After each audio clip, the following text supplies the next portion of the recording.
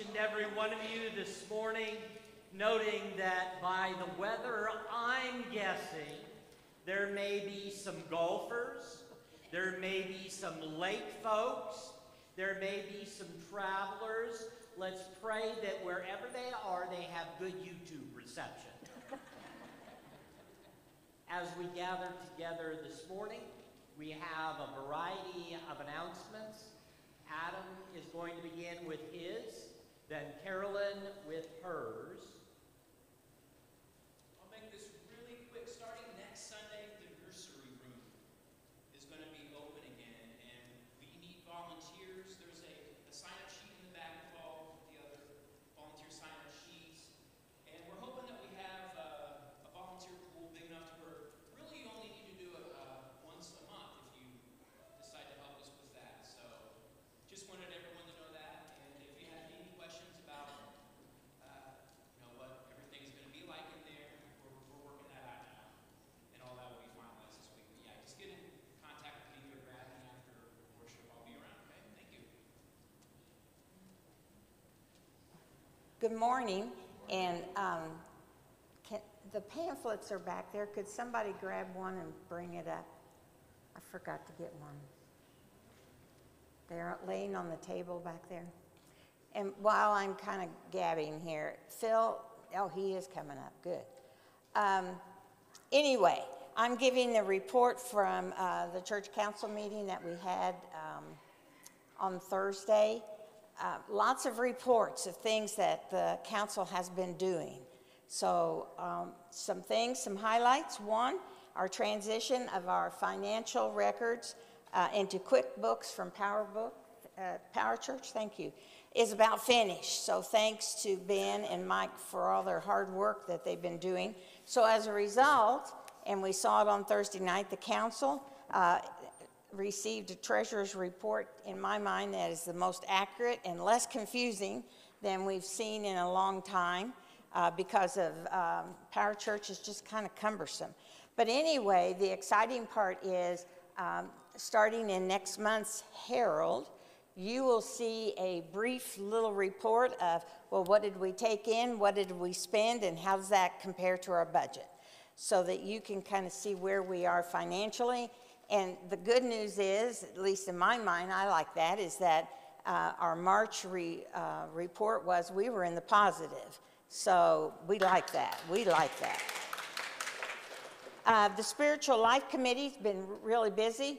One, uh, they're working on a welcome bag for visitors to our church, um, and all the items are being collected. And very soon, as we see new visitors, uh, we will be sharing some items to help them re- uh, remember St. John's, and uh, we're real excited about that.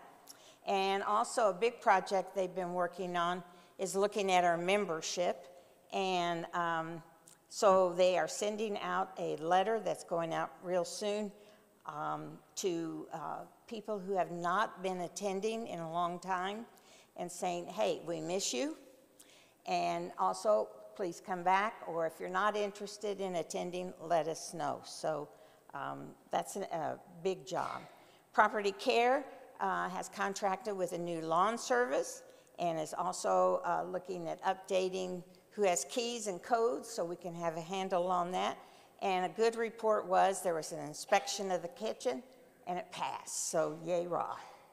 Now, the other thing is, and obviously I don't think the message maybe got to the ushers, and I apologize for that. There's a brochure in the back, or maybe you picked it up. I see some green, that's good. Uh, we have a little brochure of our goals for St. John's. And this is the result of our retreat that we had, the visionary retreat in January, as well as lots of discuss- discussions within the council. So when you open it up, you'll see our goals for years one, three, and five that we hope to accomplish. On the very back, it says, We want you, just like the military ad you see, the Uncle Sam. We do want you. So if you are interested in working on any of these goals with us, uh, with the council, and other interested people, please fill that out. Put it in the uh, uh, offering plate or drop it in the office, either way, so that we can have your name. And we'll let you know when uh, schedules and meetings are um, uh, being uh, scheduled. I'm saying it twice here. But uh, it's exciting. And I will have to say that we've already started working on Goal One, meeting the needs of our family church. And one way you can participate, and it's pretty easy, it means you don't have to call anybody, you don't have to attend any meeting, and that is the prayer ministry. And there's a sign up sheet in the back so that all we need are your prayers. So we're already starting on goal one, so make sure that you do that. In addition, we have a member who needs assistance in moving locally, and if you are available on June the 1st, please let Adam Miner know, so he's pulling that together. So, I mentioned Phil Harris. He's going to tell us about the Indy 500 shop. Thank you.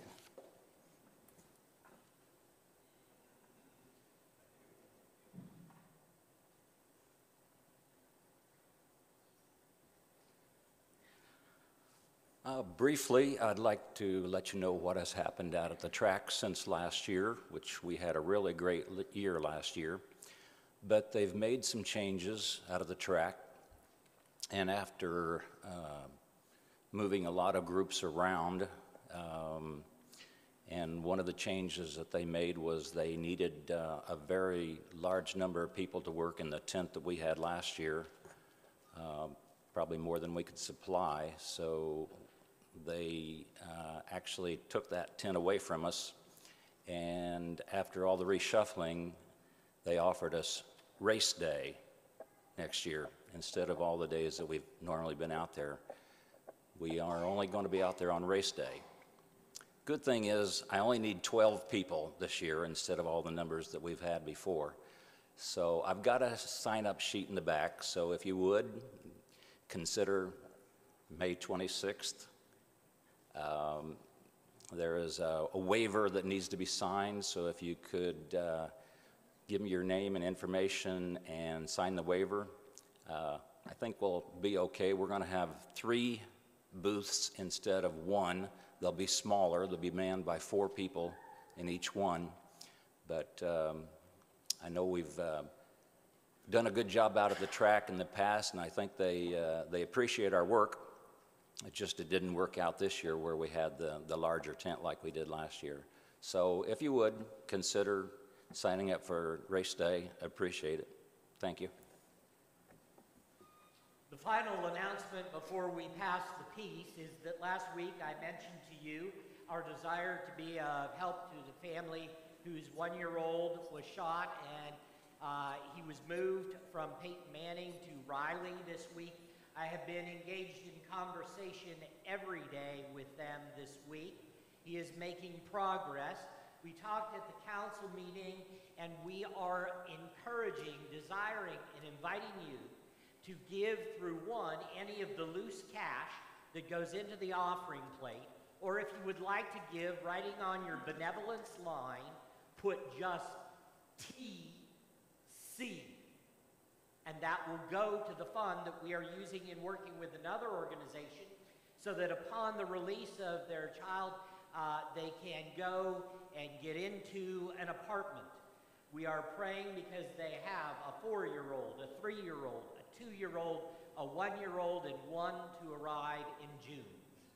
And we have met and are committed to doing everything we can. Uh, the, the parents' names, uh, I'll, I'll say this time, and we'll leave the last name, it doesn't matter. The parents are Father Tavion and the mother Gracie. And we will be seeing them here frequently in church once their little one is out of the hospital. And that is one of the reasons that we need that nursery staff. This is an opportunity which I invite you to be fully a part of in every way that you can to connect with this family. That being said, those are the announcements. Let's stand and greet one another with peace this morning.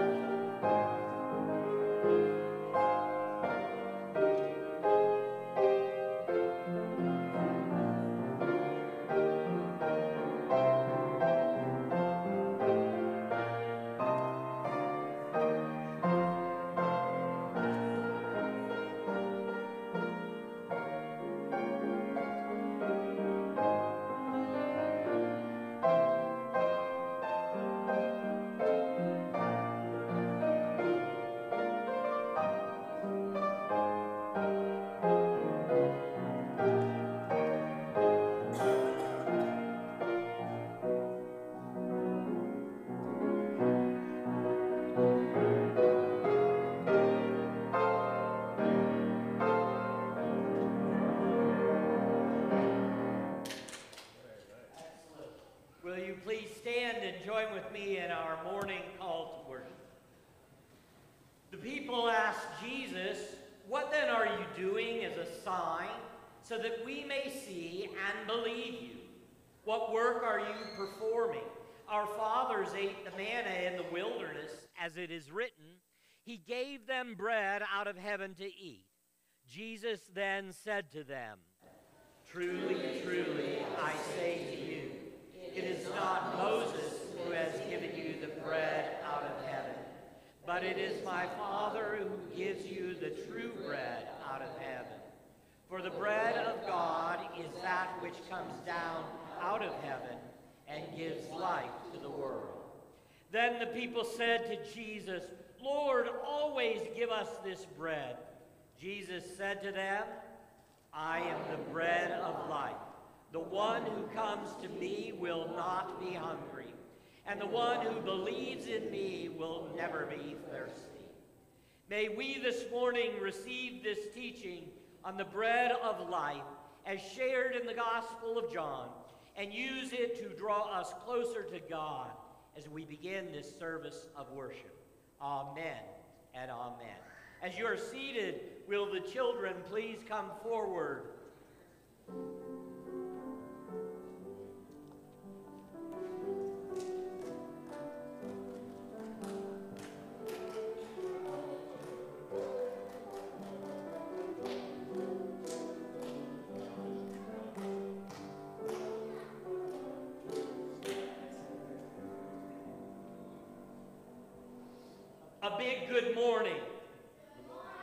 That was not big enough. A big good morning. I am glad that you are awake. Who remembers the song we learned last week? Very good. In a minute, we are going to sing it again. The words are right here, but the message behind the song is what is really important. How many of you wake up and feel happy sometimes in the morning? Yeah? How many of you are happy if you get a present? How many of you are happy if you get ice cream with all the toppings on it you want? But sometimes when we get presents, they get broken or they get lost. When we get ice cream, it either melts or it is eaten, but then it is gone. So happiness is something that can come and then go. But joy is something that never goes away.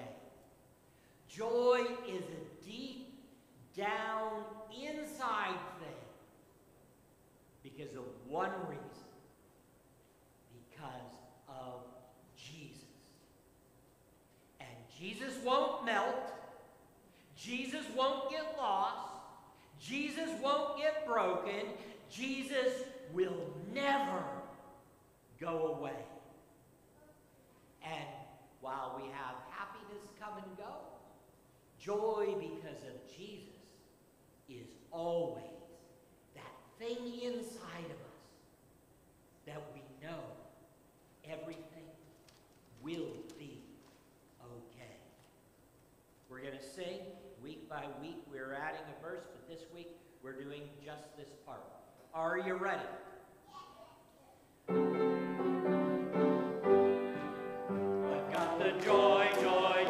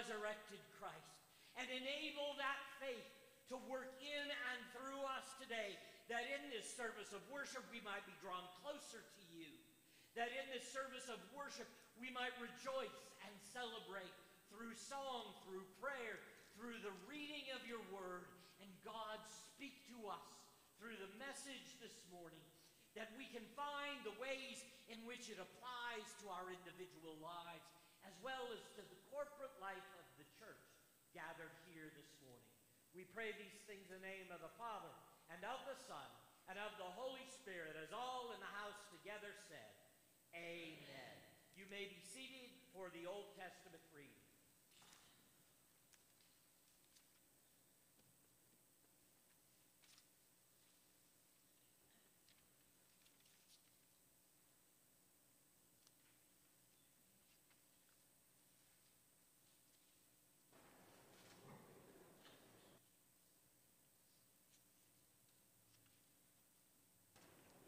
All right.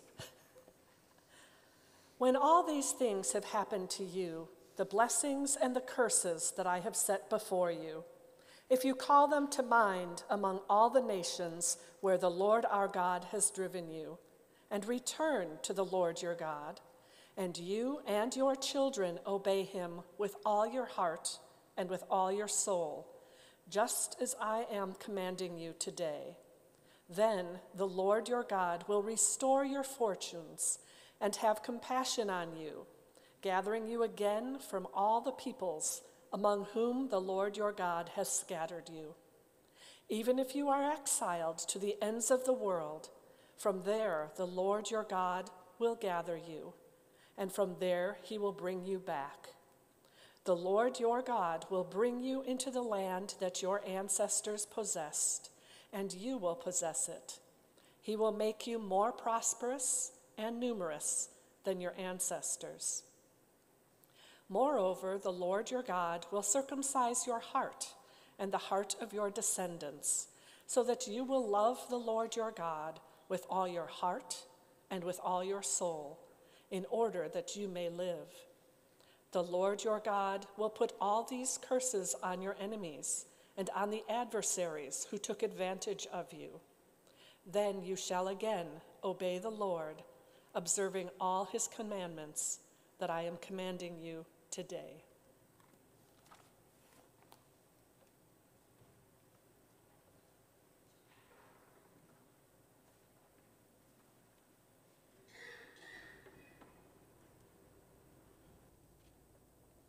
We have before us a musical rendering of Psalm 100. You are invited to respond as indicated.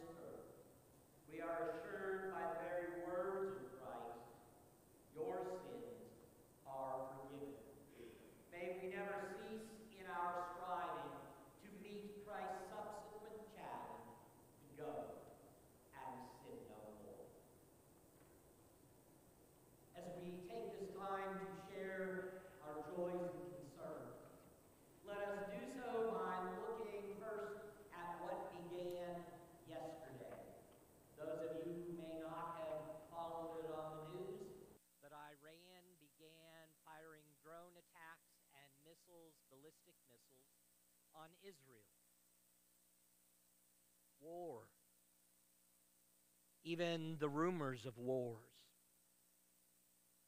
are something we need to pray against. Instead, as a church, we are called to pray for peace. That peace which is to pass all understanding. So, this is what I believe. I believe that we have wars between nations because we have turmoil in our individual lands. We can't, in the countries of this world, seem to focus on that which is right and good and true and pure, which is not to harm others, but to help others. Not to increase our possessions and our lands for our sakes, but to give of what we have for the needs of others. So, this is the challenge in prayer that as we pray for wars to end, that we pray for conflict and turmoil in our nation to end. And that we pray for those families, those homes. And I would surmise that each of us knows at least one home where there is turmoil. And we can pray for peace there. And then, a big problem turmoil in churches and between churches. What we need to pray is that God would make sure that in working through us, this would not be a church where turmoil gets the upper hand. Will you pray at least one of those things silently after we sing our prayer chorus?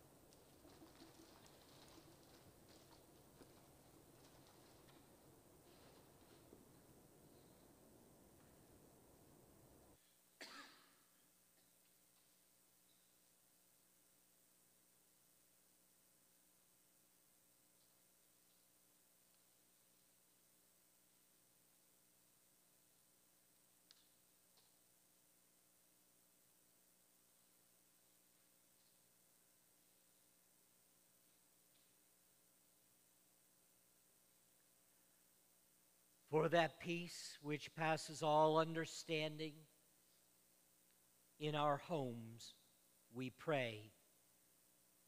For that peace which passes all understanding in our church, we pray. For that peace which passes all understanding in our nation, we pray for that peace which passes all understanding in our world, we pray. And as we pray for peace on earth, God enable that peace to begin in all of us. Cleanse us individually from bitterness, from anger, from seeking ourselves first. And let peace begin with us.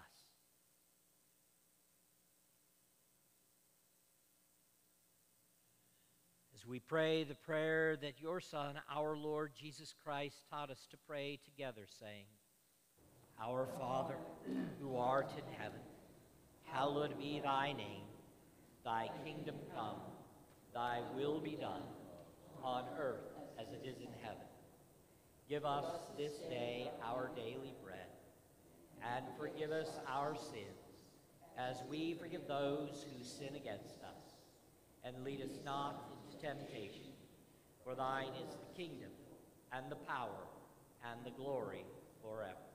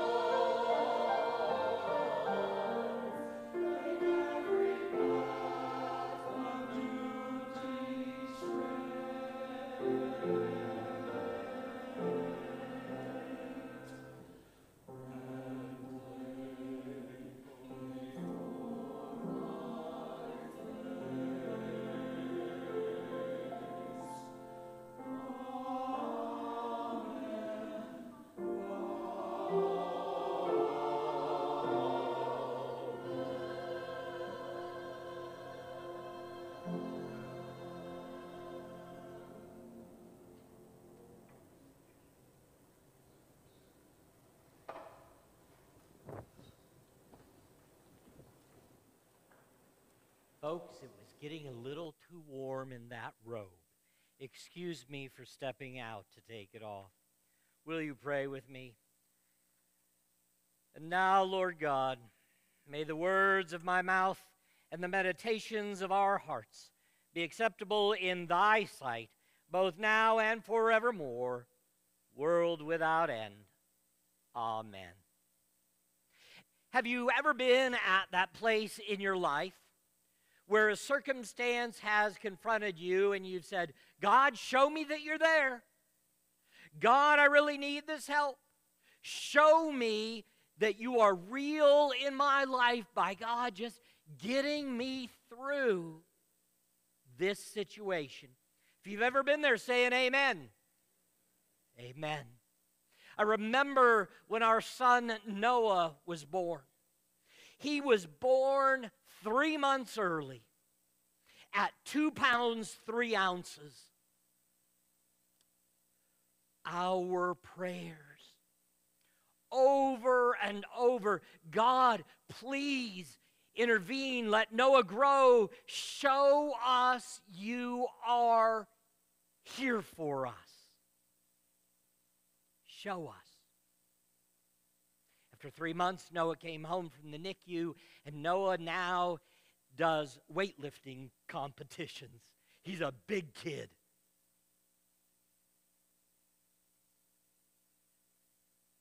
We, as human beings, get caught in life's experiences, just like the life's experience talked about in our scriptures so far this morning about God's people crying out in hunger. And God, show us you're, you are real and that you are here. And God just showered down manna, bread from heaven. But God's people are God's people. God got us through our situation with Noah.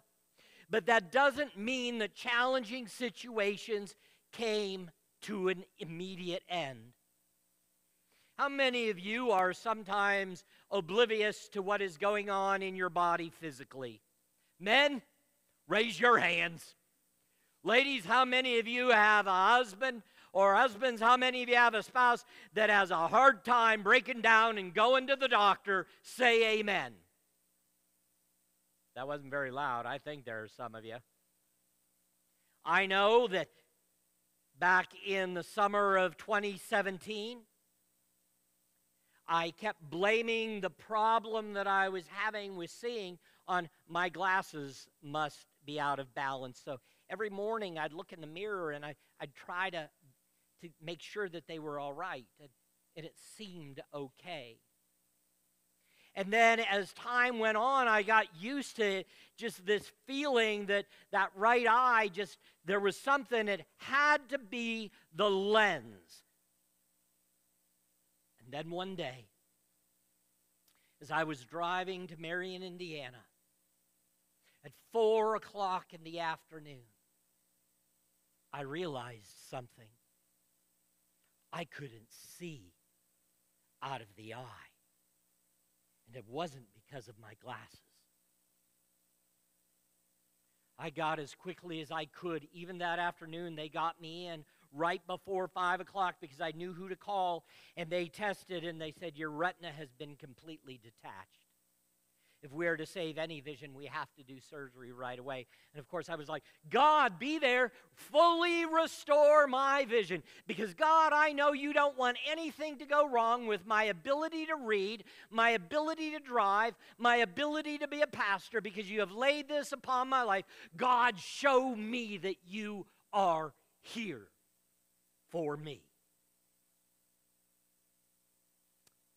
God was there for me by surrounding me with loving people who walked through the surgery and who comforted and reassured me upon realizing that that vision wasn't coming back. Does that mean God wasn't there? No. God was there through the circumstances of the people that He put in my life when it could have been so much worse. Like, what if as I was driving and I realized I couldn't see out of that eye? What if all of a sudden, in blinking my eyes, I, I couldn't see anything and I'd have veered off the road and plowed into a tree and never made it past that moment? Sometimes we miss the times when God is really there. And so God sent Jesus Christ. And still, people needed proof. We got to see it. We got to know. We've got to believe that God is real. Forget everything God has done before in our lives, and we need to see it now. And in the early church, there was a great struggle fomenting between the people who believed in God and that God sent his son, Jesus Christ, and the people who believed that Jesus Christ was a phony. And in that conflict, there arose great turmoil, and one of those who brought turmoil was a man named Saul. Saul's belief was that God had shown him that Jesus Christ was a phony. Acts chapter 9, beginning at verse 1, begins to then explain to us a little bit about this man named Saul who was challenging those people who believed in Jesus. But it wasn't the believers that needed to see proof, it was Saul. Meanwhile, Saul was uttering threats with every breath and was eager to kill the Lord's followers. First thing, Saul, who does anyone know who he was renamed to be? Saul became Paul. Paul, the apostle, who wrote 13 New Testament letters, who preached throughout the known land. Paul was a murderer. So he went to the high priest. He requested letters addressed to the synagogues in Damascus for their cooperation in the arrest of any followers of the way he found there. He wanted to bring them, both men and women, back to Jerusalem in chains. Paul was a persecutor. Do we this day really, therefore, have a concept of what it means to have been like those early church people who, based on our belief, shown through the proof of the resurrection of Jesus Christ from the dead, do we know what it's like to be persecuted? Not just mocked like the media does today, amen? Not just mocked by people who think, oh, they're wasting their time, their God doesn't do anything. Mocked. Maybe we can handle some of that. But when was the last time any of us was confronted by someone who would kill us for our faith? Think on that as the story from the scripture evolves for us this morning. As he was approaching Damascus on his mission, a light from heaven suddenly shone down around him. He fell to the ground and heard a voice saying, Saul, Saul, why are you persecuting me? Okay, that had to be an eye opener. You're walking, and all of a sudden you hear I mean, come on, let's let's let's face it. If if somebody today said, "I heard the voice of God calling me from heaven," we would be calling them out as somebody who needed to be in a mental health institution right away. Would we not? In our doubting? Saul, Saul, why are you persecuting me? That is God saying that when God's people are harmed, God is being harmed. Think of that. When we do an act against another person who is harmed by what we do, when we demean them, when we are mean to them, when we persecute another person, we are persecuting God. When I get in a tirade around my house because things didn't go the way I wanted to, and I decide to take that out on the two people in my house who are the closest to me, I'm not taking that out on them. I have to recalibrate my thoughts. I'm doing that to God. Who are you, Lord? Saul asked. And the voice replied, Okay. Now I got to tell you, when we were praying for my son Noah, if I heard a voice say, I am Jesus, I'd have flipped out. If on the way to Marion that day, when I realized I had lost my vision, and Jesus just in an audible voice said, I got your back, Dan. You think I'd be able to stay on the road that easily? That would flip me out. Why? Have we lost the belief that God, through Jesus Christ, speaks to us, tells us the good, the bad, and the ugly in our lives?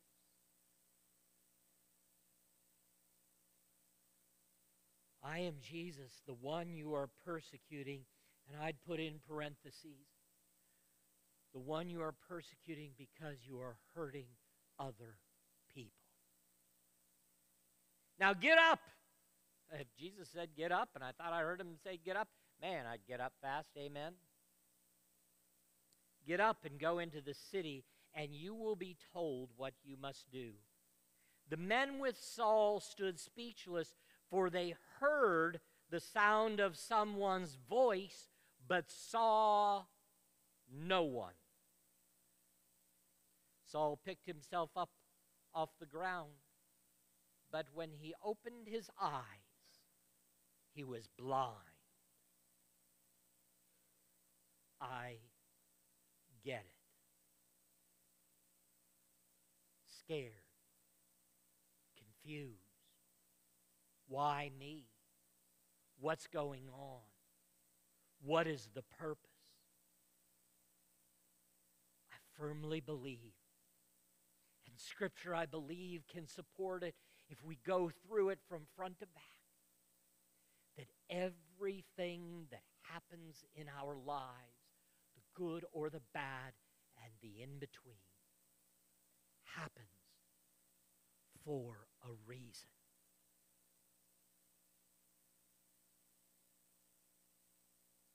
So his companions led him by the hand to Damascus.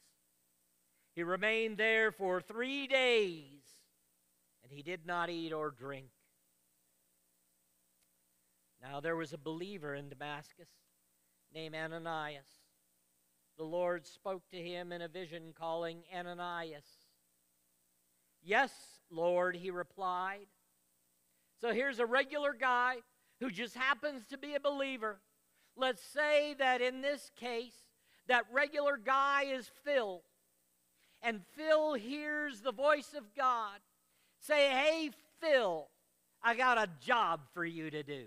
Now, initially, if you audibly again hear that voice, Phil, would you be a little bit shaken? Maybe. But does that mean God couldn't do it? No. God's done it before. God can do it now. God can do it tomorrow. God spoke to Ananias, who was steeped in his faith. The Lord said, Go over to Straight Street to the house of Judas, not the bad guy Judas who betrayed Jesus. He was long gone. When you get there, ask for a man from Tarsus named Saul. He is praying to me right now. Things had begun to happen. God had Saul's attention. God needs our attention. And in getting our attention, the hope is that God will force us to our knees, if that is the case required, to pray. All of the turmoil that this church has been through in the years past has a reason. What is the reason? For us to realize first thing we got to do is pray. When's the last time we prayed for this church every single day? When's the last time we prayed for this church? Morning, noon, and nighttime every single day.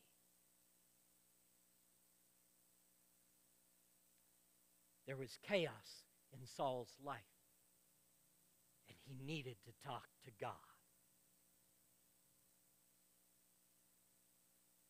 I have shown him a vision of a man named Ananias coming in and laying hands on him so he can see again.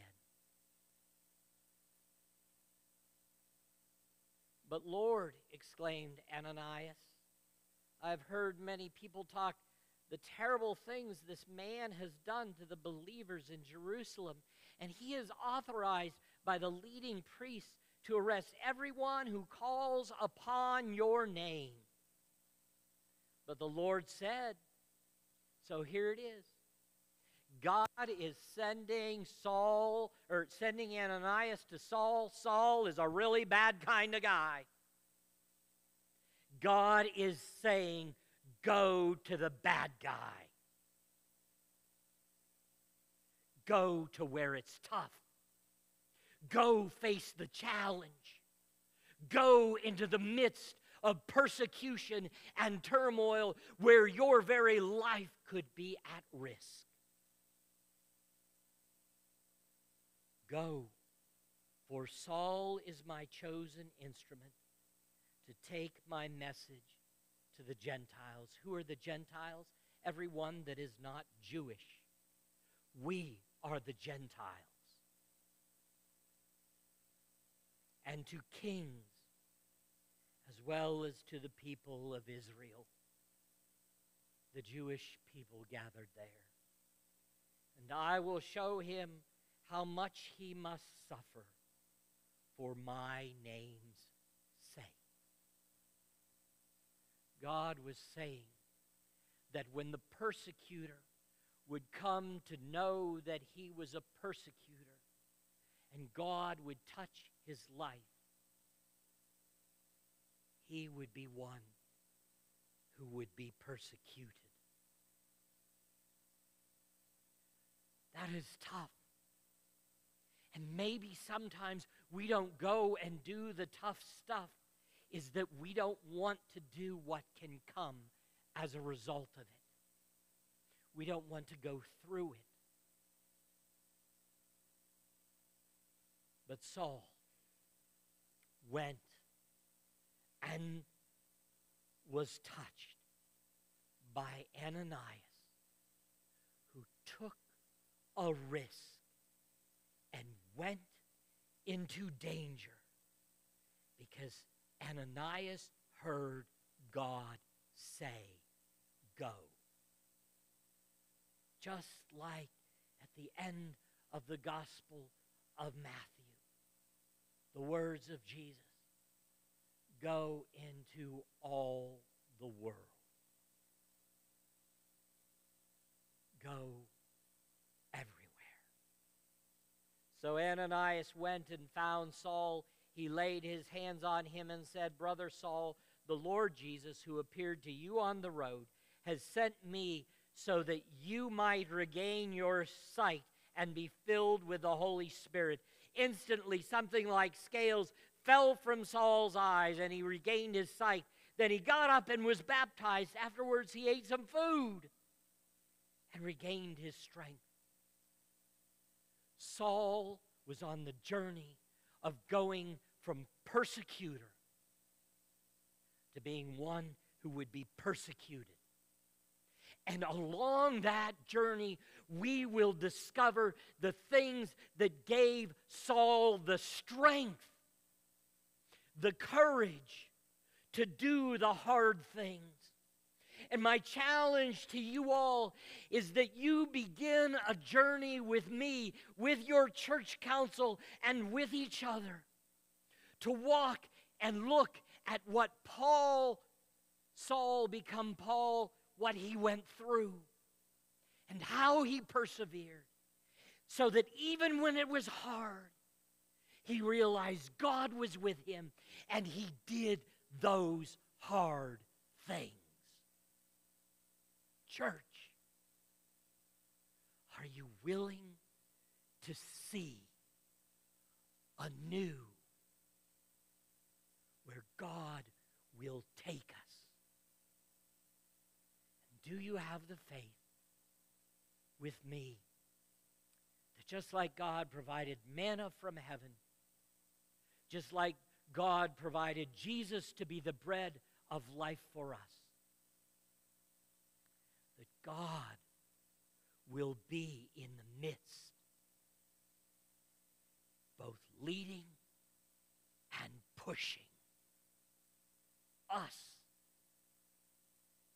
on the best journey he will ever have for this church.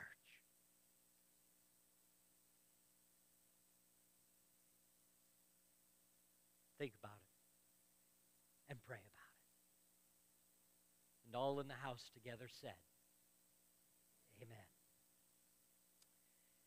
Now, as we begin our entry into the sacrament of Holy Communion, remember that in this congregation, you do not have to be a member of this church to take communion. You do not have to be a member of any church. All you need is to desire to receive Christ again and again through forgiveness.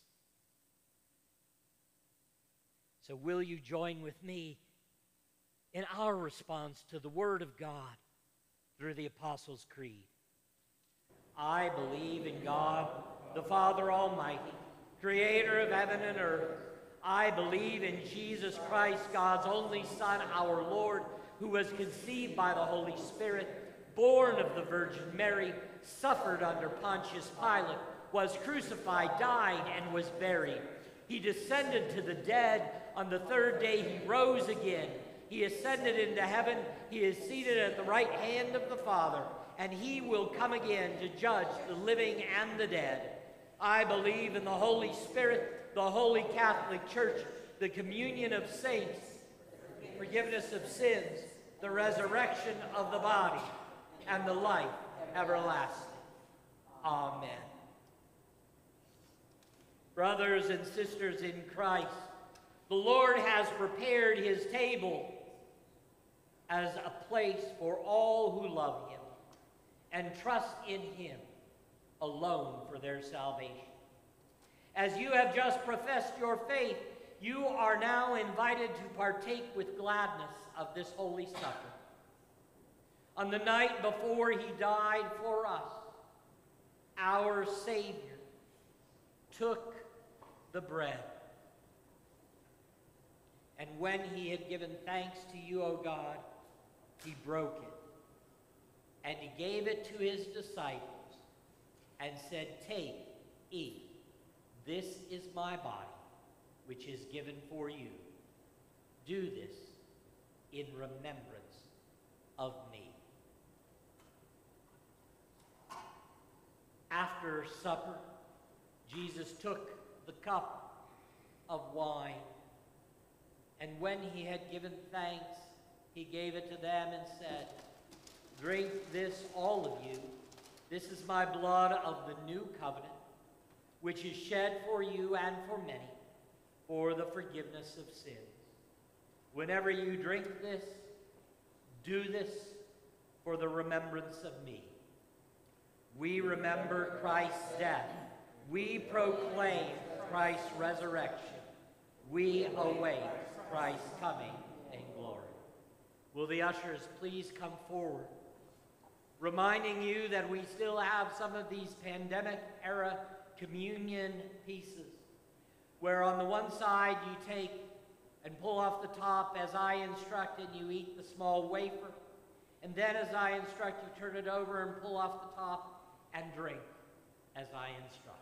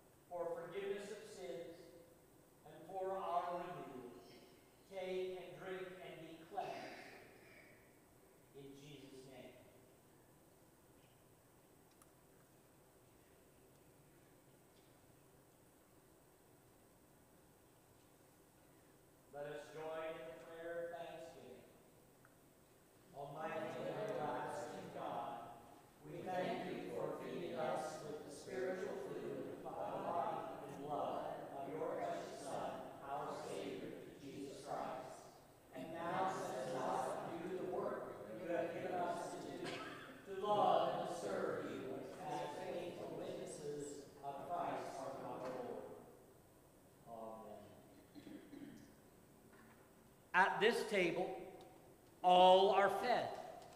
And still there are gifts overflowing into the world God loves. On this spring morning, we come together to thank God and to offer our gifts so that the ministry of this church will continue to grow and be a blessing to the world. Let us gather our gifts together and offer them to God in gratitude and praise as the ushers come to wait upon us.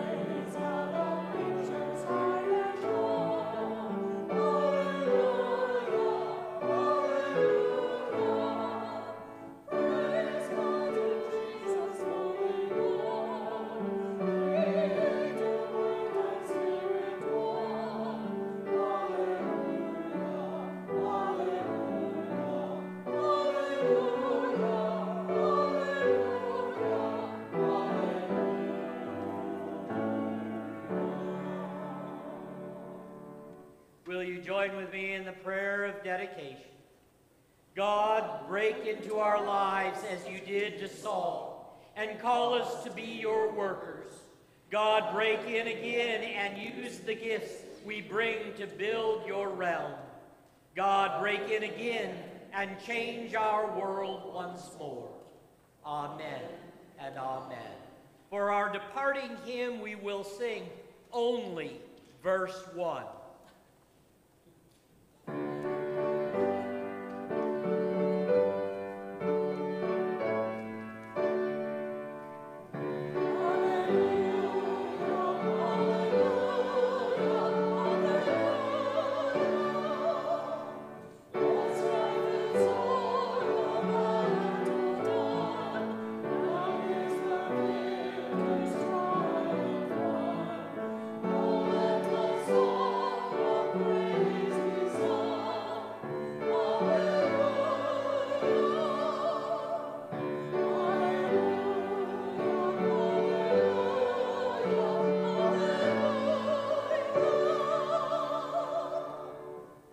Now unto him who is able to keep you from falling and to present you faultless before the throne, to the one, the only, the almighty, and all wise God, creator of the ends of the earth, be praise, glory, and honor, both now and forevermore. As all in the house together said, Amen. We need to ride.